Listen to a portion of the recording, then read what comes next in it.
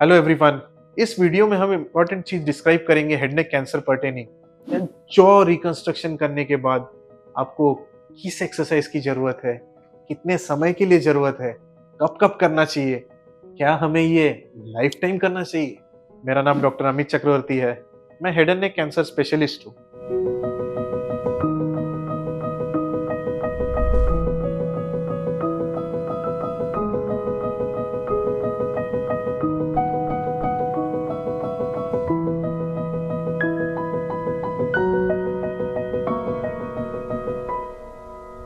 जी हाँ आपको ये लाइफ टाइम करना चाहिए।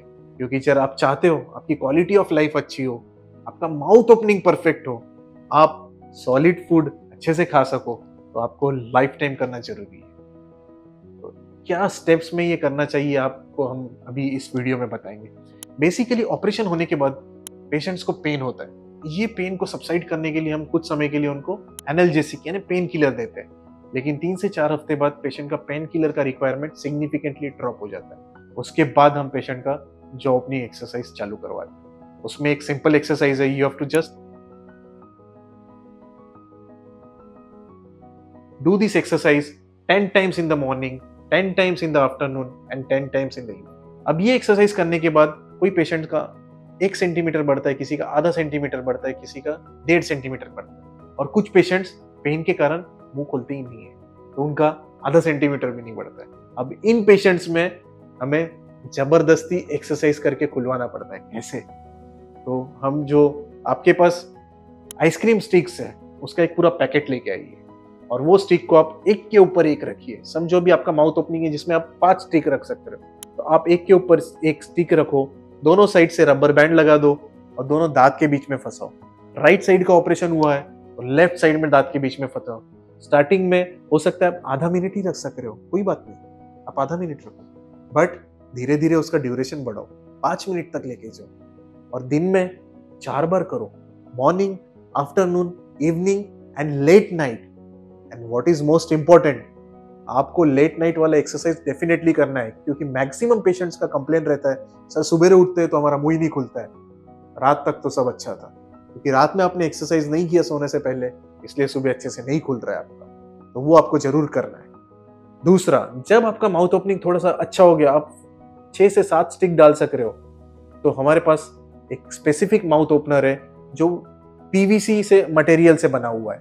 और आप इसे डायरेक्टली ऑर्डर करके मंगा सकते हो आई कैन केयर से। ये कैंसर केयर फाउंडेशन है, जिसका जो माउथ ओपनर है इट्स वेरी गुड सॉफ्ट उससे आपका दांत जो है वो घसता नहीं है, और उसमें चाबी रहता है, वो चाबी को धीरे धीरे घुमा के आपको खोलना है।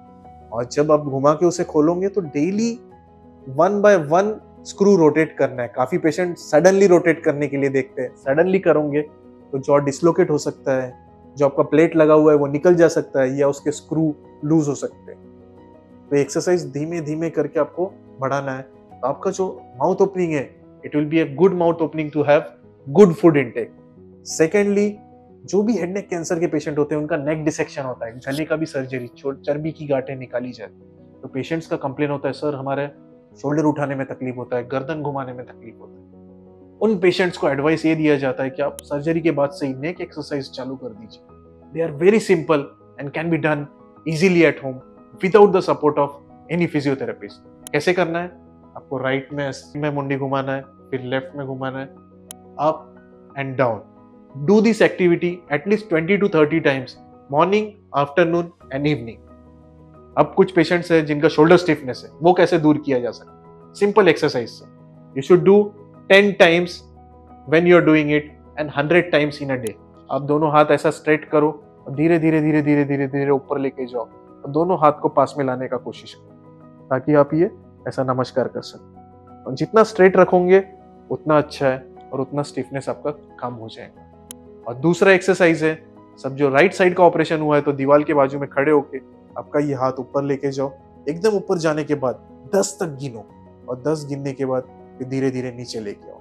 ये दोनों एक्सरसाइजेस आपको हंड्रेड टाइम्स करना है ताकि आपका जो शोल्डर का स्टिफनेस है ज़ीरो परसेंट पे आ जाए। इन चार से पाँच एक्सरसाइज और बताए गए टिप्स को आप जब प्रॉपरली फॉलो करोगे, आपका माउथ ओपनिंग अच्छा रहेगा नेक का रोटेशनल मूवमेंट्स अच्छे रहेंगे शोल्डर का स्टिफनेस ऑलमोस्ट नील रहेगा।